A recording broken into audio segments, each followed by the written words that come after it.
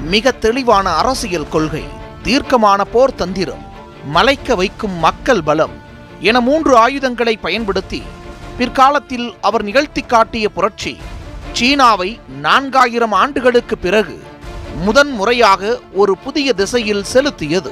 இன்று சீனா இவ்வளவு கம்பீரமாக உயர்ந்து வளர்ந்து நிற்பதற்கு அந்த ஒற்றை பெயர்தான் அடித்தளம்.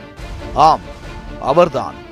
மாவோ என அழைக்கப்படும் மா சேதும் வாசிப்பதையே வாழ்க்கையாக கொண்ட மாவோவுக்கு ஒரு வளமான எதிர்காலத்துக்கு எச்சரிக்கை. எனும் நூல் அவரிடம் பெரிய பாதிப்பை உருவாக்கியது. சன்யாட்சன் மீது கொண்ட பற்றால் அவரது தலைமையில் புதிய அரசு அமைக்க ஒன்று திரளுவோம் என முதல் முறையாக சுவரொட்டிகள் மூலம் அறைக்கூவல் விடுத்தார் மாவோ. சீனாவில் ஆண்கள் அனைவரும் தலைமுடியை சடைபின்னிக் கொள்ள வேண்டும் என்பது சட்டமாகவே இருந்தது. சடைக்கு பின்னால் இருந்த அடிமைத்தனத்தை அறிந்த மாவோ யாருக்கும் அஞ்சாமல் வகுப்பறைகளுக்கு முன் வந்து தனது போலி சடைகளை வெட்டி வீசினார்.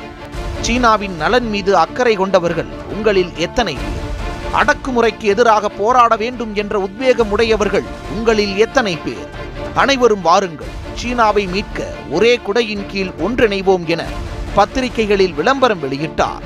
மாவோ ஏறி இறங்காத பள்ளிகளும் சந்திக்காத மாணவர்களும் இல்லை. பதினோரு பேர் உதவியுடன் ஆயிரத்து தொள்ளாயிரத்து இருபத்தி ஓராம் ஆண்டு சீன கம்யூனிஸ்ட் கட்சியை தோற்றுவித்தார் மாவோ. ஏகாதிபத்தியம் அடக்குமுறை நிலப்பிரபுகள் என அனைவருக்கும் எதிரான மாபெரும் போராட்டம் மாவோவின் வழிகாட்டுதலுடன் தொடங்கியது. ஆயிரத்து தொள்ளாயிரத்து இருபத்தி எட்டாம் ஆண்டு ரெட் ஆர்மி எனும் செம்படையை உருவாக்கி அவர்களுக்கு போர் பயிற்சிகளை வழங்கினார் மாவோ. ஆளும் அரசாங்கத்தை வீழ்த்த செம்படை மட்டும் போதாது என்பதை உணர்ந்த மாவோ பெரும் திரளான மக்கள் கூட்டத்தையும் திரட்ட முடிவு செய்தார். எழுக. அடிமையாயிருக்க விரும்பாதவர்கள் அனைவரும் வருக. நமது சதையும் ரத்தமும் சேர்ந்து பெரும் சுவரொன்றை எழுப்பும் என புரட்சி கீதங்கள் எட்டு திக்கும் ஒலித்தது. சீனர்களே உங்கள் அனைவரையும் விடுவிக்க இதோ செம்படை வந்து கொண்டிருக்கிறது. இருபது கோடி சீனர்களும் அடிமை தலைகளை உடைத்துவிட்டு சுதந்திர மனிதர்களாக மாறப்போகிறார்கள். உங்கள் வளர்ச்சிக்கான விதைகளை நாங்கள் தூவிக்கொண்டே வருகிறோம் என உறக்க முழங்கினார் கோமிண்டாங்கை ஆக்ரோசமாக திருப்பி அடித்து வெற்றி கொண்டது செம்படை. தற்காப்பு என்பதையே போர்க்கலையின் முக்கிய அம்சமாக கொண்டிருந்த சீனர்களுக்கு திருப்பி தாக்குதல் என்கிற மரபு மாவோவிடம் இருந்தே வந்தது.